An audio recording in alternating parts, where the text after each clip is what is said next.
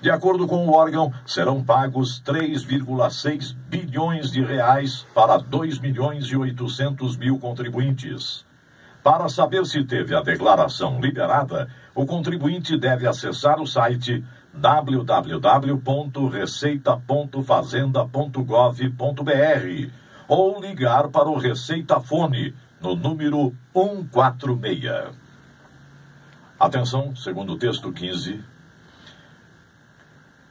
A Prefeitura de São Paulo inaugurou dois novos ecopontos na zona leste da cidade para entrega voluntária de pequenos volumes de entulho, grandes objetos e resíduos recicláveis.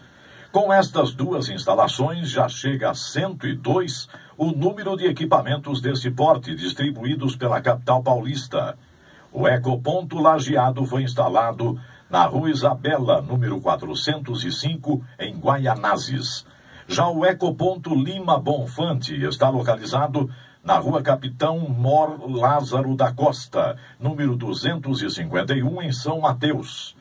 Os materiais podem ser descartados de segunda a sábado, das 6 da manhã às 10 da noite, e aos domingos e feriados, das 6 da manhã às 6 da tarde.